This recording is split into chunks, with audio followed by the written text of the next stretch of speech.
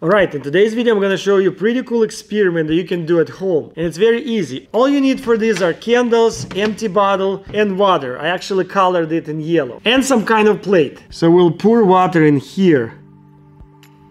And I'll try to make this candle stand in the middle of the plate. There you go. What I'm gonna do, I'm gonna light this candle and then put the bottle on top of it and watch closely what's gonna happen.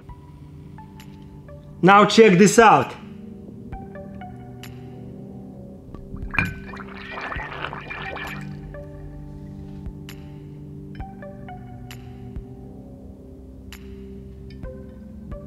Look at that.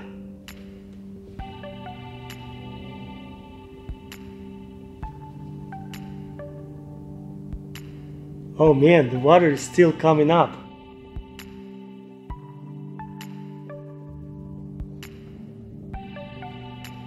Look how crazy is it? Almost the entire plate of water actually went up here into the bottle. Well, what's going on with this? Why is it happening? This actually happens when you cover the candle, the oxygen is consumed and candle goes off. And as a result, the air inside of the bottle cools down. And this cooling down effect causes lower air pressure inside the glass than outside. And so the water is pushed into the glass until equilibrium is reached. That's actually really cool and fun experiment. Well, I hope you guys enjoyed this video. Thank you for watching and I'll see you in the next one.